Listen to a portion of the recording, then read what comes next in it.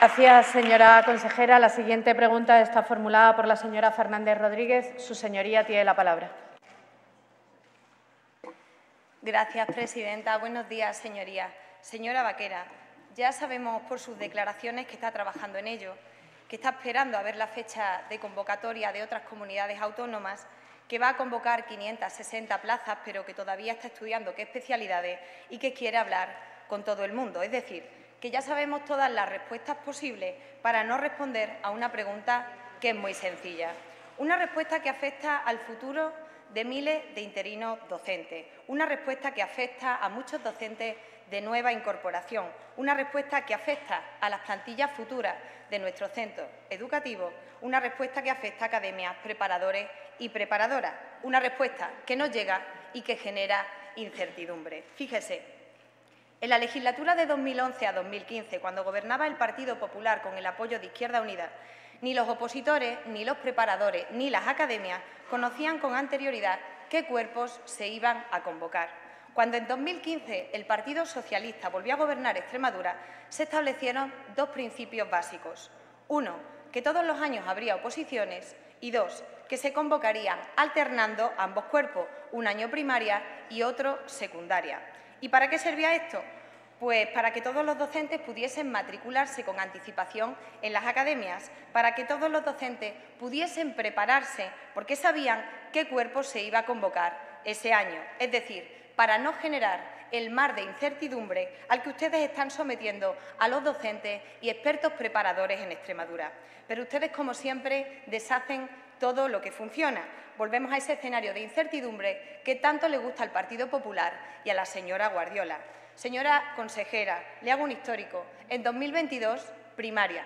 En 2023, secundaria. En 2024, estabilización docente. Y en 2025, primaria o secundaria. Porque ella sabe que las comunidades que nos rodean van a convocar oposiciones a secundaria. Y usted ya ha tomado una decisión. No estará esperando a diciembre para que su decisión se diluya con otras cuestiones o, como dijo usted el lunes en la rueda de prensa, puede que lo anuncie, si Dios quiere, mucho antes. Usted es la consejera. ¿De verdad va a encomendar a Dios esta decisión? Usted decide cuándo anunciarlo y qué especialidad.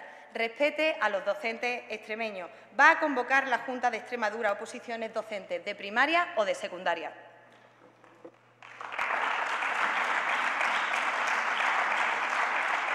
Gracias, señora Fernández. Señora consejera de Educación, Ciencia y Formación Profesional, tiene la palabra.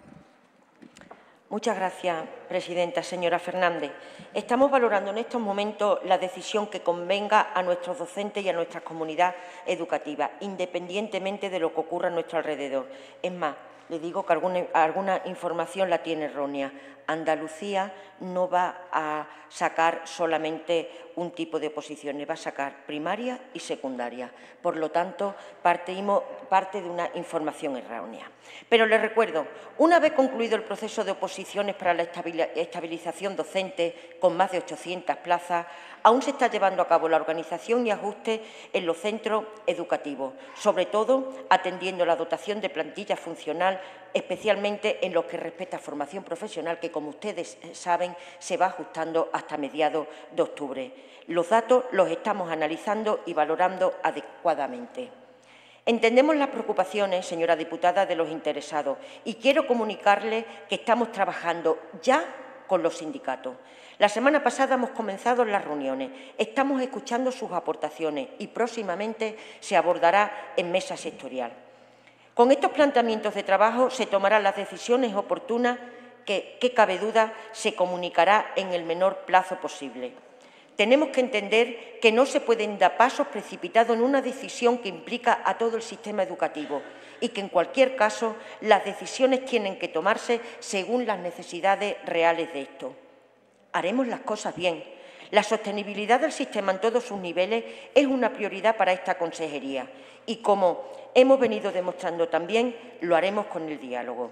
Las prisas pueden comprometer la calidad del proceso y debemos, por nuestra parte, garantizar que éste sea justo, transparente y bien organizado, tal y como lo fue el anterior, tanto desde el punto de vista logístico como presupuestario. No podemos olvidar que jugamos con el futuro y la vida de muchas personas. Gracias.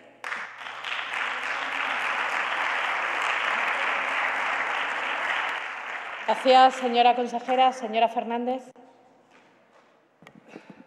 Gracias, presidenta. Señora consejera, le rogamos que deje de ensalzarse y de hacer titulares convirtiendo lo ordinario en extraordinario.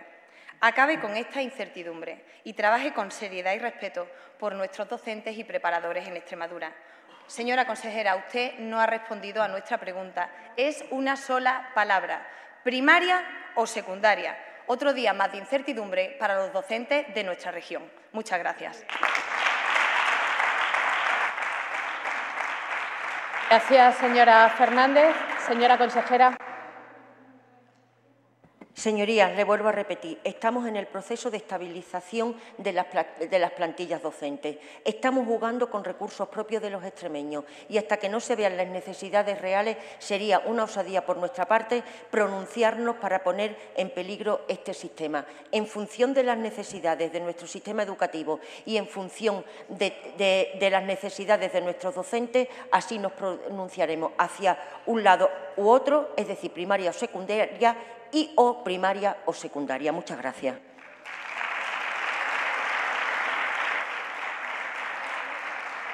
Gracias, señora consejera.